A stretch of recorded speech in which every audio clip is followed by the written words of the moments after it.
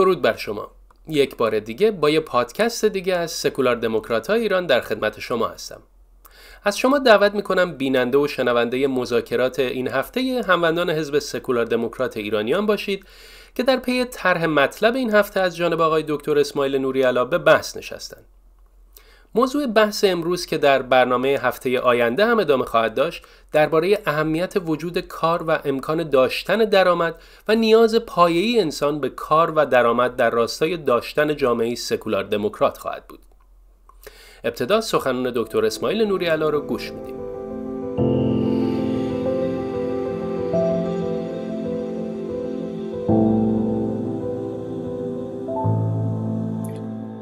سلام بر شما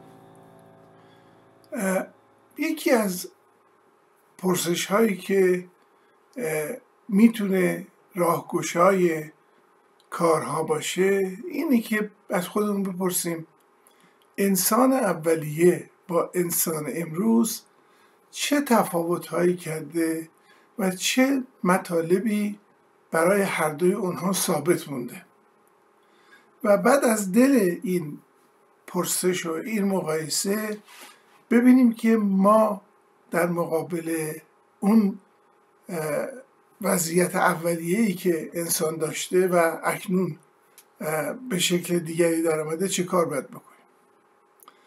من می‌تونم از اینجا شروع بکنم که به هر حال در این مورد توافق هست که یک حالا خدا انسان را آفریده طبیعت آفریده نمی‌دونم جریان تحولات که بهش میگن برایش یا اولوشن انسان رو انسان کرده و قصهش هر چی که بوده باشه نه درخت داده پایین روی دو تا پای خودش ایستاده. به حال این موجودی به نام انسان که در روی کره زمین پیدا شده هدف از وجودش چیه؟ چه هدفی هست که باعث میشه این هزاران ساله این موجود روی کره زمین باقی بمونه. معمولا خب این برای این برایش یا این اولوشن یا تحول موجود زنده دو تا هدف ثابت قائل میشن. یکی این که سعی بکنه زنده بمونه و یکی این که بتونه تولید مثل بکنه و در نتیجه بقای خودش رو روی زمین تأمین بکنه. موجود بشری از همون روز اول اون انسان اولیه چندین نیاز برای برآوردن این اهداف داشته. که مهمترینش البته مسئله تغذیه هست. موجود زنده یک ماشینی است که انرژی اون رو به حرکت در میاره. و انرژی هم در مورد موجود زنده از طریق تغذیه تامین میشه.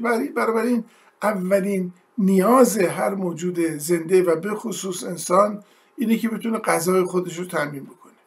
خب در طول تاریخ می‌بینیم که برای پاسخگویی به این نیاز چه راههایی را رفته. از اون زمانی که شکار چی و شکارکار بود و ارز کنم که چوب سنگ چوماق هر چیزی که می‌تونست گرد بیاره یا بسازه برای این به کار می برد که بتونه مثلا هم از گیاهان تغذیه بکنه و هم اینکه موجودات زنده دیگه ای رو بتونه بکشه تبدیل به غذا کنه و بخوره. خب این ما می‌بینیم که در انسان پایداره. همچنان بعد از هزاران هزار سال که از پیدایش انسان بر روی زمین ارز کنم که میگذره هنوز این نیاز به تغذیه یه امر ثابتی. حالا جواب هایی که بهش میده متعدده. یه موقعی خامخور بود آتش رو کشف کرد تونستش که مثلا گوشت حیوانات رو بپزه و بخوره و بعد همینطور تا امروز که به حال آشپزی یک امر ثابت و حتی امر علمی هنری شده. اما نیاز ثابته.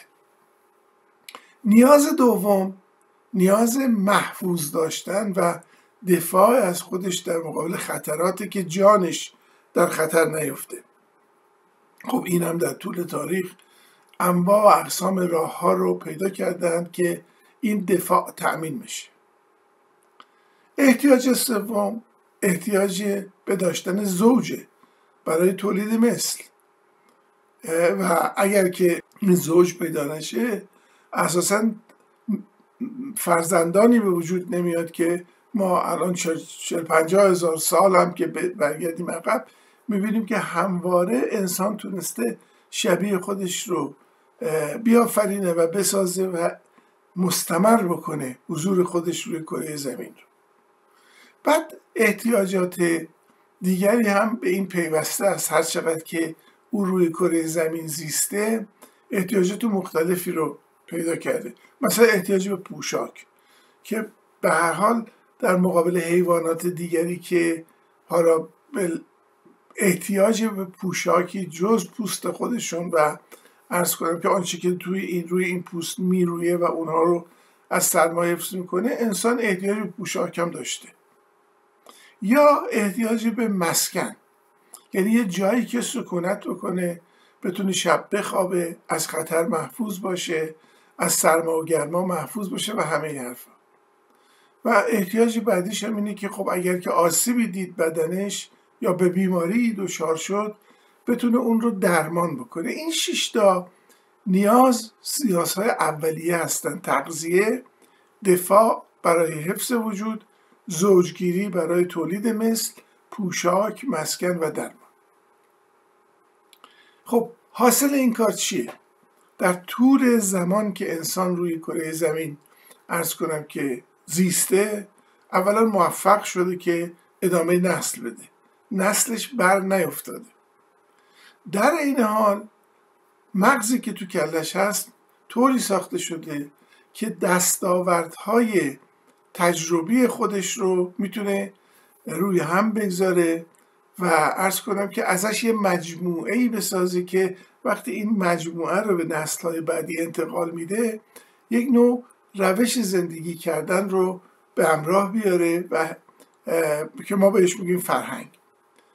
امروزه البته باید توجه داشتش که فرهنگ تو ما ایرونیا بیشتر یعنی مثلا شعر و ادبیات و نقاشی و اینها در حالی که اون بیشتر در مقوله زیبایی ها هستش. که یه بخش کوچکی از فرهنگ هستن فرهنگ بیشتر ماحصل تجربه های انسان در زیستن روی زمینه و وسیله برای انتقال اون تجربه ها به دیگر مسئله بعدی مسئله مالکیت. انسان موجودی است که تمایل داره چیزها رو به مالکیت خودش در بیاره به خصوص وقتی که برمیگرده به اون شش نیاز مربوط به زنده موندن و تنازع بقای خودش رو. یعنی اینکه ممکنه که شکمش با یک وعده غذا سیر بشه. اما اون دوست داره که تا می‌تونه غذا جمع بکنه مالک اون غذاها باشه. تا ارز کنم که در موقع خودش بخواد ازشون استفاده بکنه. و ماحصل آخر هم مسئله وجود مازاده. یعنی وقتی که شما به نیازهای خودتون می‌خواین پاسخ بدین و از طریق اون به مالکیت می‌رسین در نتیجه بیشتر از احتیاجات خودتون جمع کردید مازادی رو وجوده در این حال چون انسان موجودی اجتماعی هست همه این مسائل در متن زندگی اجتماعی اتفاق میفته که یکی از برآمدهای اصلی اون مسئله داد و ستده. یعنی انسان ها می توانند مازاد احتیاجات خودشون رو با دیگران معاوضه بکنن. یعنی ما معاوضه داریم داد و ستت داریم و معامله داریم. نسبت به همدیگه می‌تونن این کارا رو روی مازاد آنچه که دارند انجام بدن. خب این اول می‌دونیم که به صورت تهاتری بوده یعنی جنس در مقابل جنس. و بعد بوده است که تبدیل شده به مسئله خرید و فروش.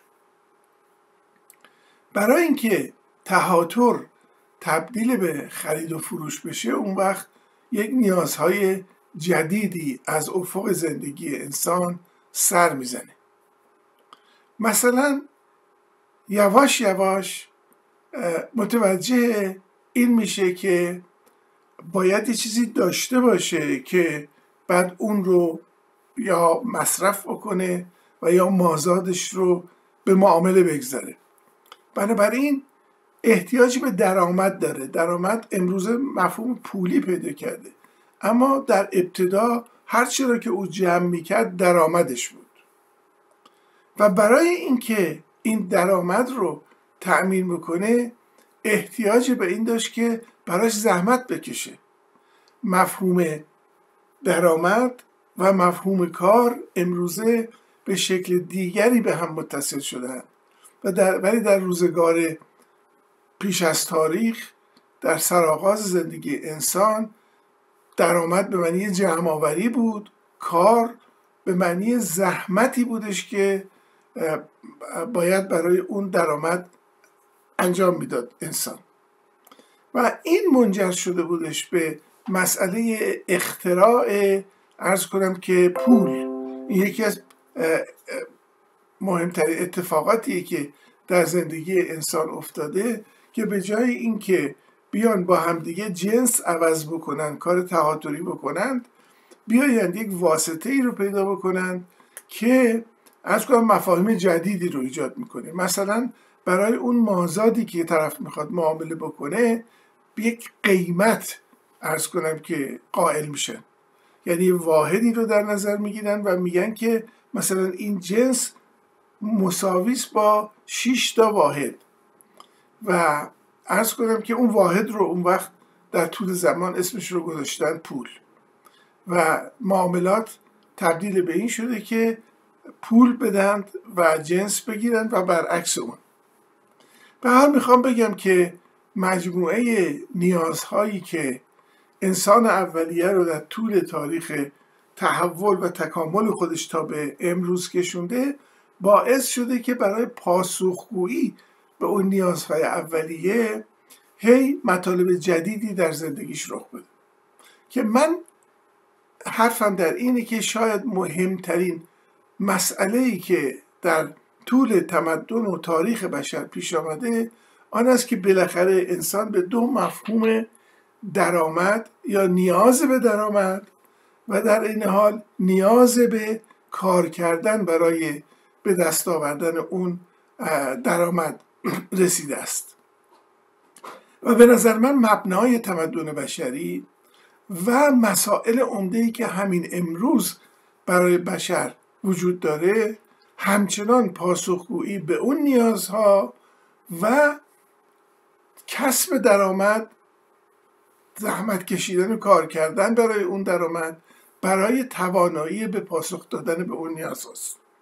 به عبارت دیگه من فکر می‌کنم که امروزه هر حکومتی هر دولتی هر جامعه ای قبل از هر چیزی باید مسئله اساسی درآمد و کار برای ایجاد اون درآمد رو در نظر بگیره وقتی که ما می‌خواستیم حزب سکولار دموکرات ایرانیان رو پایه گذاری بکنیم با توجه به مطالبی که خدمتتون ارز کردم مهمترین چیزی که به نظرمون می‌رسید این بودش که ما حزبمون باید حزب ایجاد کار برای حصول به درآمد باشه.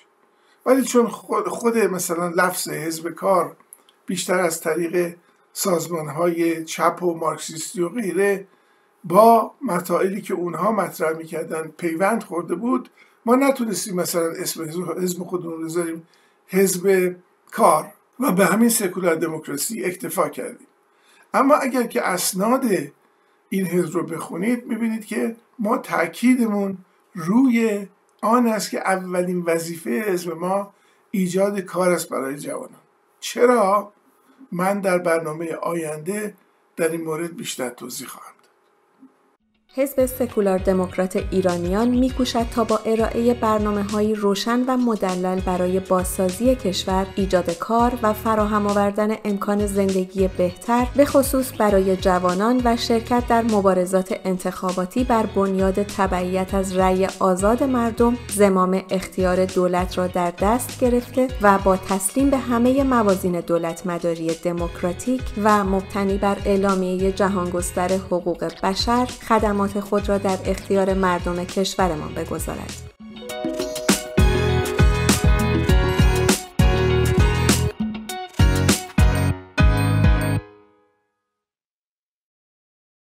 بحث درباره نیاز پایه انسان به کار و درآمد رو شنیدید. مثل همیشه با هم به نشست آنلاین حزب سکولار دموکرات ایرانیا میریم تا واکنش برخی از هموندانمون رو نسبت به بحثی که دکتر نوری علا مطرح کردن بشنویم. مثل همیشه یادآور میشم که به علت کم بوده وقت تنها بخشی از این نشست تقدیم حضور شما عزیزان میشه.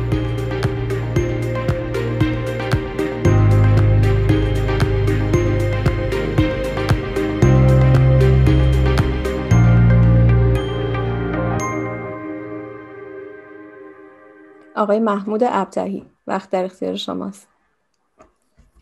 ممنونم از شما. پس من خواستم در ادامه صحبت های دکتر نوری علا که یک نگاه تاریخی داشتن از ابتدا در واقع کوتاه صحبتم رو بکنم. زمانی رو دکتر نوری علا مثال زدن که خب انسان شکارچی بود یا جمع کننده بود. در محیطی زندگی می‌کرد که می‌تونست آزادانه در واقع تحرک داشته باشه حرکت کنه و به دنبال اون نیازهایی که برشمردن باشه برطرف کردن اون نیازها. یعنی غذاش رو تامین کنه پوشاکش رو از هر چه که در دسترس هست. مثلا از شکاری می‌کنه از پوستش برای پوشاک استفاده می‌کنه گوشتش رو تغذیه می‌کنه یا جمع آوری می‌کنه. اون گیاهانی که در اطرافش هست. وقتی که فصل تغییر می‌کنه یا به هر دلیلی کمبود پیدا میشه مهاجرت می‌کنه به نزدیکترین جایی که می‌تونه این رو تامین کنه. یعنی یک محیط متفاوتی است با اونچه که ما امروز در زندگی می‌کنیم. تغییرات همونجوری که توضیح دادم آهسته آهسته اتفاق افتاده. ولی اگر ما بخوایم سریع از روش بگذاریم و بیایم به امروز می‌بینیم این محیط دیگه وجود نداره که کسی بخواد برای برطرف کردن نیاز خودش به دنبال تولید باشه مستقیم. یعنی کنترلی که حکومت ها به وجود میارن مرزبندی ها مالکیت تمام شرایطی رو به وجود آورده که راه تأمین زندگی برطرف کردن اون نیازها زنده موندن و امنیت و دفاع همه اون چیزهایی که دکتر برشوندن به تنهایی از, از دست هر گروه کوچکی بر نمیاد. یعنی نیاز به جامعه مخصوصا به خاطر اون نظم خاصی که حکومت پیدا کرده بسیار بیشتر شده. و اینجاست که نقش حکومت خیلی مهم میشه. یعنی حکومت نمی‌تونه به یک نفر به یک خانواده به یک فرد بگه مثل مثلا چند هزار سال پیش خب شما برو شکار کن زندگیتو تامین کن. برو گندم به کار تو سیر کن. باید این شرایط رو فراهم کنه. به خاطر که شما اولین جایی که بخوای بری گندم هم به کاری که زندگی تو تامین کنی یک نفر می‌رسه میگه این زمین مال منه یا خود اون حکومت می‌رسه میگه این زمین ملی است پس اون شرایط رو در, در جوامع امروزی حکومت بایستی تأمین بکنه که انسان ها بتونن نیازشون رو برطرف کنن صاحب مشاغلی بشن. اون شکلی که ما می‌شناسیم عمدهش اینه که صاحب مشاغلی بشن که بتونن از طریقش نیازهای خودشون رو برطرف کنن. یعنی در مورد بازار مثلا ثبات سیاسی باید ایجاد بکنه شرایط رو قوانین رو جوری تعیین بکنه که یک بازار رقابتی عادلانه وجود داشته باشه که در درون اون بشه. تولید انجام بشه و هر کسی تولیداتش رو در واقع عرضه بکنه به بازار و از حاصل فروش اون استفاده بکنه برای گذران زندگیش. کسانی هستن که امکان این رو ندارن. اگر بخوایم اشاره بکنیم به اینکه خود اون تولید کردن شرایطش تغییر کرده چون دیگه تولید برای استفاده شخصی نیست تولید برای عرضه به بازار هست. کسانی خب دسترسی ندارن به اون ابزار تولید بایستی به استخدام جایی در بیان برای اینکه این تولید رو بتونن انجام بدن. و از این وقتی که تو صحبت هم بود وقتی که می‌ذارن برای اون تولید استفاده بکنن و در واقع حقوقی رو بگیرن. یعنی چهار روش اصلی که برای درآمد ما می‌شناسیم اینکه شما یک جایی رو دارید اجاره می‌دید یا یک کاری رو انجام می‌دید در, در برابرش حقوقی می‌گیرید یا سرمایه رو جمع کردید و بهره بانکی ازش می‌گیرید. یا اینکه نه سرمایه رو دارید به یک کار اقتصادی مشغول میشید باش و سودش رو سود اون تولید رو برمید اینا همه نقش دولت هست. و اینکه چگونه دولت بایستی از منابعی که موجود هست در واقع در اون کشور استفاده بکنه که سکتورهای مختلف رو چنان در واقع محیط کاریش رو مساعد بکنه و امکاناتش رو فراهم بکنه که استعدادهای موجود بتونن در اون سکتورها به کار گرفته بشن. یعنی مثلا فرض کنید سه سکتور اصلی که من اگه بخوام اسم ببرم همون استخراج مواد استخراج و تولید مواد اولیه یعنی تولید مواد خام. خب این بسیاری از این کارها یا باید شرکت های بسیار بزرگ سرمایه دار باشن یا خود حکومت باشه. مثلا امکان استخراج نفت نفت خام به وجود بیاد. استخراج معادن مثل طلا مس که خب کار پیچیده است و سرمایه زیادی هم سکتور بعدی سکتوری است که این مواد بیاد ازش در واقع استفاده بشه در تولید کالاهایی که به درد مصرف کننده می‌خوره یا business ها یعنی یا کالاهای میانی است یا کالاهایی که نهایتا قراره مصرف بشه. و نهایتا همه این تولیدات و وقت اضافه ای که انسان میاره به دلیل فراوانی که حاصل از این تولیدات یک فرهنگی رو به وجود میاره که یک sector جدیدی رو به وجود آورده به اسم خدمات. و یعنی یک چیز فرض بگیریم مثلا مثل گردشگری. چند هزار سال پیش که مثلا گردشگری که معنی نداشت ولی امروز انسان می‌تونه گردشگری کنه. مثلا خدمات مختلفی که وجود داره خدمات بانکی. مثلا در زمانهای خیلی گذشته پول در واقع instrument خیلی ساده ای بود برای تبادل کالا. امروز ولی instrument های بسیار پیچیده تری در شبکه های مالی هست که اداره کردن اونها که یک بخش بسیار خود finance یک بخش بسیار مهمی از اون اقتصاد هست. یعنی در, در برابر اون اقتصاد واقعی جریان تولید قرار می‌گیره که اون رو ممکن می‌کنه احتیاج به یک خدماتی داره احتیاج به یک افرادی داره که اون رو اداره بکنه. منظورم اینه که اگر یک حکومت کار خودش رو درست انجام بده و اجازه بده این sector ها شرایط کار درشون به وجود بیاد و فعال بشن خود به خود برای اینکه اون جامعه بخواد کار بکنه انسان ها شرایط مناسبی به وجود میاد که انسان ها درش مشغول به کار بشن و زندگیشون رو تعمین بکنن. من برای که حرفم زیاد به درازا نکشه اینجا استاپ می‌کنم و در ادامه صحبت اگر عرض داشتم در خدمت می‌خوام. ممنون. نفر بعدی که نوبت گرفتن آقای سرجو بفهمید آقای سرجو پاسگزارم خانم قیاسفند در ادامه صحبت های آقای ابتهی من یه نکته به نظرم رسید. اینکه اتفاقی نیست که در سیستم های سیاسی باز و آزاد اقتصاد باز و شفاف جاری هست و در سیستم های سیاسی بسته اقتصاد بسته اقتصاد دولتی و اقتصاد رانتی. یعنی در واقع در کنترل گرفتن بازار کار به نوعی یکی از ابزارهای دیگه ای هست که سیستم های حالا بگیم دیکتاتوری و استبدادی ازش استفاده می‌کنن برای کنترل اجتماعی. در در کشور آزاد در واقع فضای باز اقتصادی و شفاف یک عامل شکوفایی اجتماعی هم هست و افراد با فعالیت اقتصادی دارند با مالیاتی که پرداخت می‌کنن به نوعی مشارکت فعال دارند در هم پروسه اقتصادی و هم پروسه سیاسی در صورتی که در کشور خودمون در ایران. باز اقتصاد دولتی و اقتصاد رانتیر یه ابزاری هست که حکومت ازش استفاده می‌کنه با دادن رانت با دست گرفتن تمام بنگاه های اقتصادی بزرگ و به نوعی شریان اقتصادی رو که در دست می‌گیره حرکات اجتماعی رو هم جنبش های اجتماعی رو هم در دست می‌گیره. زمانی که قسمت اعظم جمعیت یک کشور به نوعی حقوق بگیر دولت باشن برای دسترسی به منابع اقتصادی لازم باشه که فرض کنیم به نوعی حمایت کنن. از اون سیستم سیاسی دقیقا برعکسش هم در اقتصادهای باز هست. و این تقابل در حوزه اقتصادی هم یکی از تفاوت‌های سیستم سکولار دموکرات و یه سیستم استبدادی هست. و اساسا اگه ما بخوایم در آینده که حتما همینطوری خواهد شد یک ایران سکولار و دموکرات داشته باشیم. ناگزیر هستیم که حمایت کنیم از هم اقتصاد باز هم اقتصاد شفاف. اینکه منابع اقتصادی به صورت شفاف و عادلانه همطور که آقای گفتن در اختیار بازار کار قرار بگیره. ممنون. ممنون از شما. شما نقطه نظری دارید آقای دکتر نوریالا من فکر کنم مطالبی که آقای ابتایی گفتن در واقع مفصلی بین آنچه که امروز من خدمتون ارز کردم و آنچه که در هفته آینده خواهم گفت.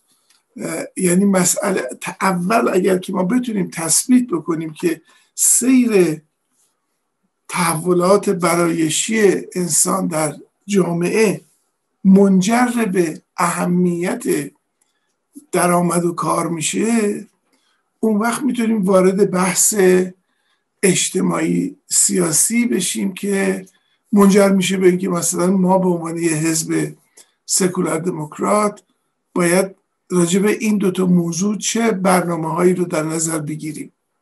یعنی من حرفم رو در اونجایی قطع کردم که فکر کنم صحبتم در طول این مثلا 15 16 دقیقه به تثبیت اهمیت درآمد و لزوم داشتن کار برای اون درآمد بکشه.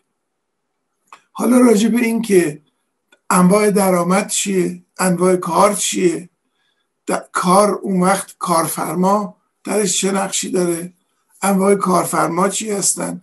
اینها رو من قصدم اینه که در جلسه بعدی مطرح بکنم. اما الان این خیلی پل خوبی شد مطالبی که آقای ابتهی گفتن که ما رو کشوندش از این بحث کلی برایشی برایشی اجتماعی به داخل مسئله سیستم های کلی سیاسی اجتماعی. اینی که من متشکرم ازشون و حرف های تکمیلی آقای سرجو هم به همین ترتیب. خیلی ممنون مرسی. آقای مهدی شهابی نفر بعدی هستن که نوبت گرفتن. آقای شهابی بفرمایید. می‌خواستم عرض کنم که من با با صحبت های جناب ابتعی موافقتی ندارم چون ایشون فقط سیستم های اون که همش تمام امور رو دست دولت گذاشته دولت باید این کار بکنه دولت باید اون کار بکنه دولت باید کمک کنه مردم کار پیدا کنن این و اون اون اون.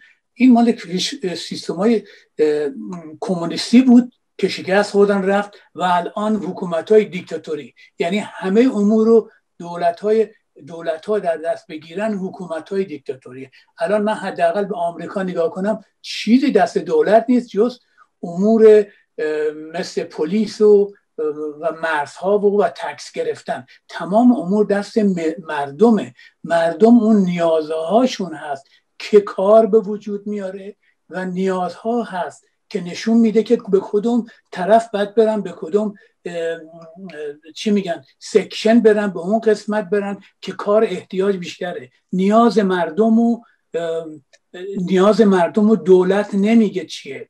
نیاز مردم و بازار بهشون میگه. یعنی حکومت های باز احتیاج به دولت ندارن که دولت بهشون راه بده روش نشون بده. خودشون نیاز بازار خودش انتخاب می‌کنه. اونی که دولت دخالت کنه به همه چی سیستمای بسته هست. و این اون چیزی نیست که اون الان شکست خورده است. الان ما بیشتر باید صحبت کنیم راجع به, به سیستمایی که موفق بودن سیستم های باز سیستم هایی که روی آزادی حرکت می‌کنه. نه اون که دولت همه چیشون دخالت بکنه فقط دولت باید مالیات بگیر باشه و صلح و امنیت برقرار کنه و, و از مرزهای خارج از کشور.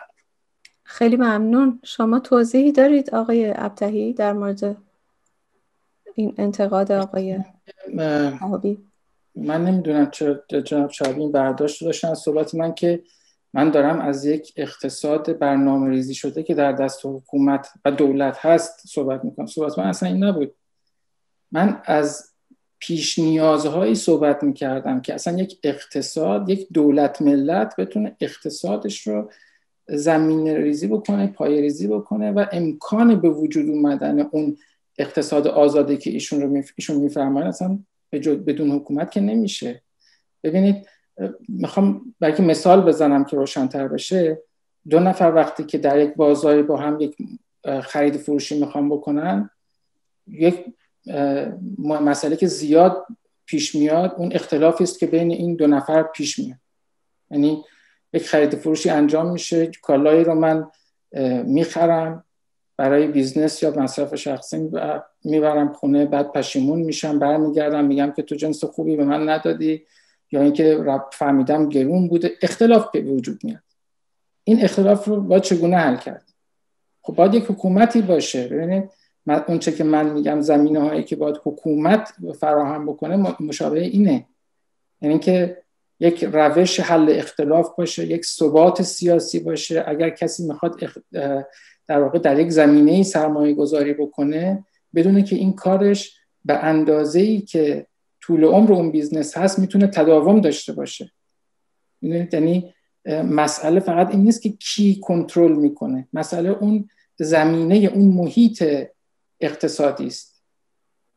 infrastructure ی که باید به وجود بیاد. مثلا میگم فرض بگیرید جاده ها نحوه از finance مثال زدم یا مثلا فرض کنید سیستم بانکی کشور تمام اون چیزی که امکان می‌کنه امکان ایجاد یک در واقع اقتصاد شکویا رو برای جامعه به وجود میاره.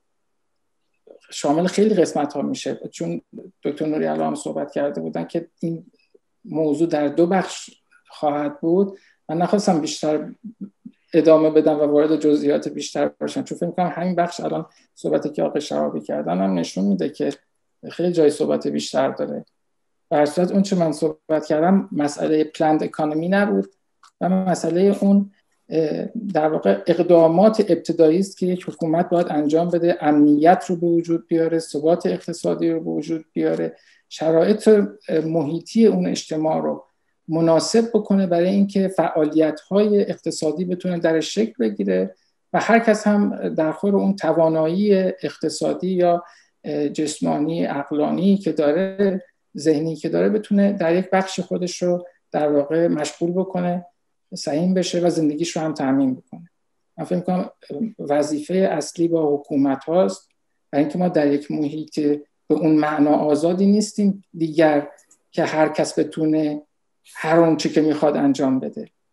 یعنی بدون حکومت اصلا امکان پذیر نیست. امریکا رو مثال زدم که بازار اقتصاد آزاد داره. شما در بسیاری از همین مثالهایی که خودتون بردید حکومت حذف بکنید. دولت محلی ایالتی یا فدرال رو حذف بکنید. ببینید آیا امکان شکلگیری اون چیزی که شما میفرمایید داره یا نه. حالا بعد مرحله بعد می‌رسیم به اینکه چقدر کنترل در چه جاهایی لازمه و اون کنترل ها با چه شیوه هایی باید باشه. با قانون می‌تونه باشه با در واقع مالیات باشه که شما خودتون گفتید و پالیسی های مختلفی که حکومت می‌تونه دخالت بکنه در اقتصاد. اون یک مسئله است اینکه خود دولت بیاد مستقیم به دست بگیره و مجری اون کار را باشه یک مسئله دیگه است. من فکر کنم دو تا مسئله رو هم قاطی کردم شما ممنون. خیلی ممنون. شما نقطه نظری دارید آقای دکتر نوریالا؟ من موافقم با آنچه که آقای ابتایی میگن. یعنی اینکه نفی نقش دولت در جامعه مدرن اصلا محاله که صورت بگیره.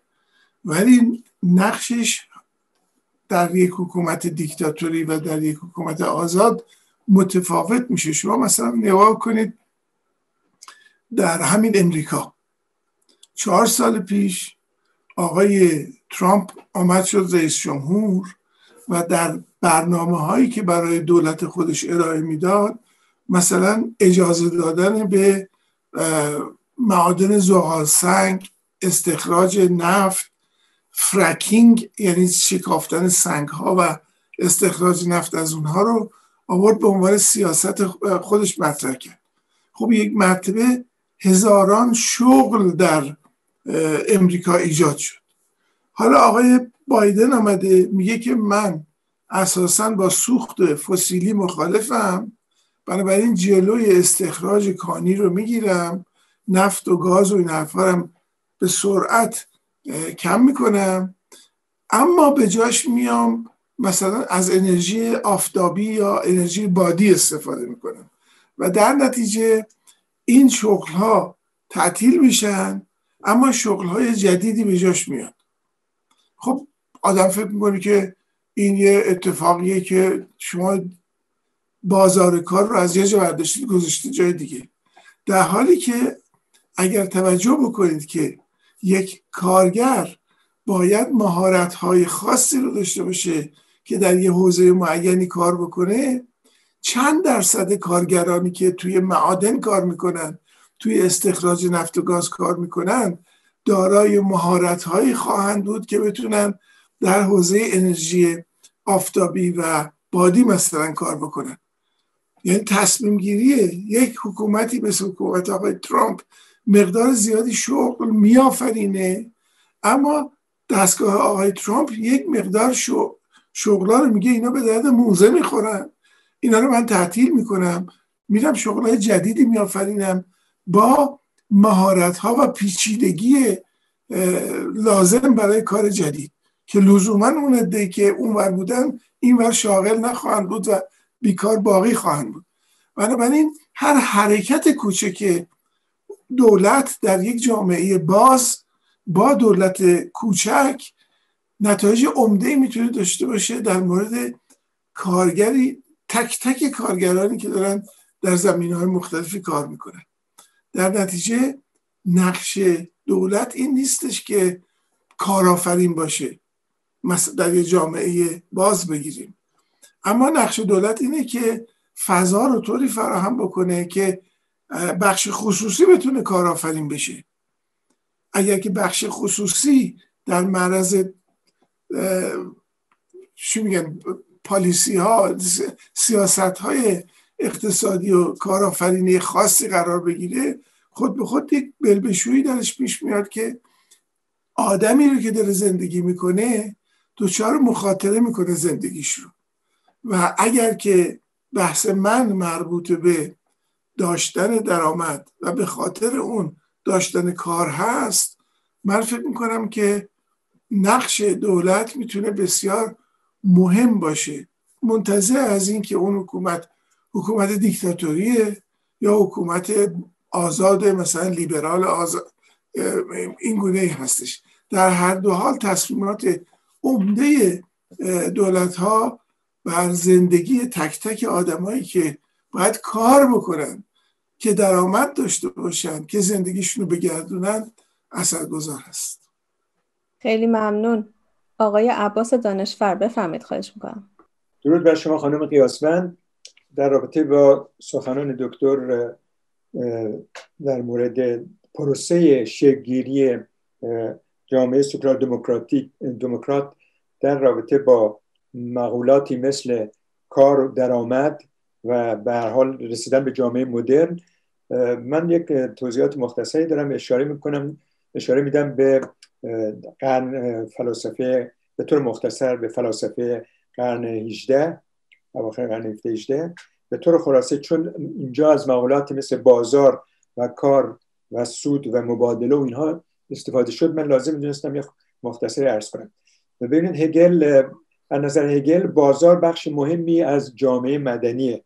در حالی که مارکس مخالف بازار از اون دیدگاه بازار رو اون شکلی که هگل مطرح می‌کنه یه مانعی در راه رسیدن یه جامعه به اصطلاح رفاه مرفه از خود خودش می‌دونه. آدام اسمیت که معروف به پدر علم اقتصاد رو بازار خیلی تکیه داره. میگه که بازار آزاد در بازار آزاد می‌تونه زامن یک جامعه مرفه بشه و جامعه رو پیش بینی می‌کنه که در اون کار ایجاد میشه و مسائل رفاهی. مثلا میگه که در جامعه در بازار یک دست نامرئی وجود داره که کنترل می‌کنه رقابت سرمایه رو و در اصل این رقابت هست که سرمایه نمی‌تونه جامعه نمی‌تونه توسط این سر انباشت سرمایه دچار تنش بشه.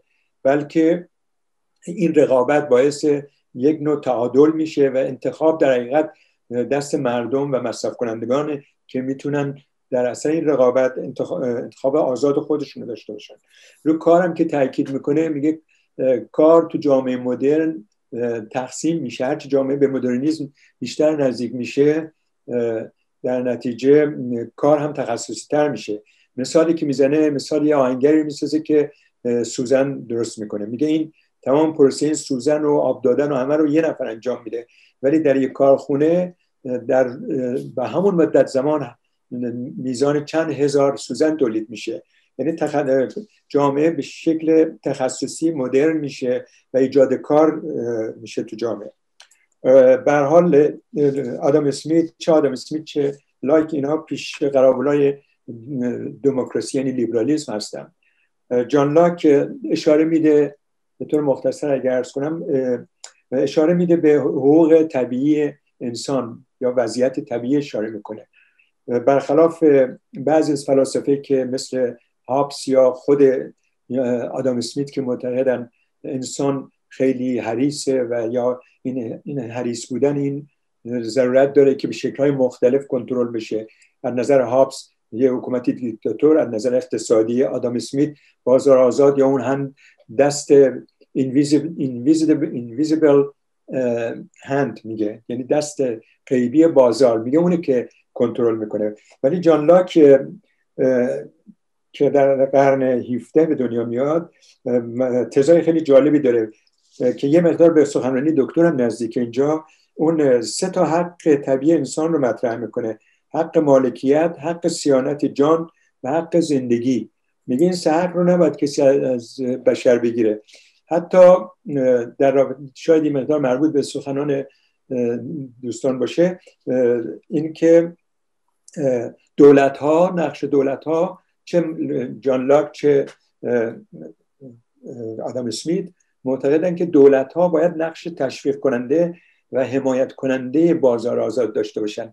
یعنی حکومت نباید در بازار آزاد دخالت مستقیم داشته باشه ولی حمایت کنه. و همونطور که دکتر گفتن تشویق کنه. تو جامعه مدرن سرمایه, سرمایه آزاد رو شخصی رو تشویق کنه که این در اصل این چرخش ایجاد کار و ایجاد رفاه بشه. در حال حقانیت مالکیت خصوصی نزد کار از کار و تلاش انسان برای زنده موندن ناشی میشه.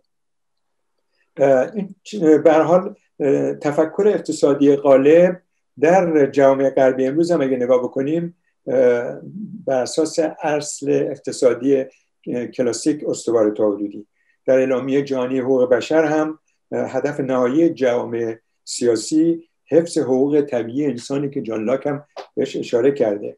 به حال ما امیدواریم در یک جامعه سکولار دموکرات آینده مسائلی مثل نان مسکن آزادی و نیازهایی که در گفته شد توسط دکتر اینها قابل حصول هست. اگر شرایط بازار آزاد و ایجاد کار و به خصوص حمایت دولت سکولار دموکراتیک پشتش باشیم. خیلی ممنونم. به پایان پادکست این هفته رسیدیم.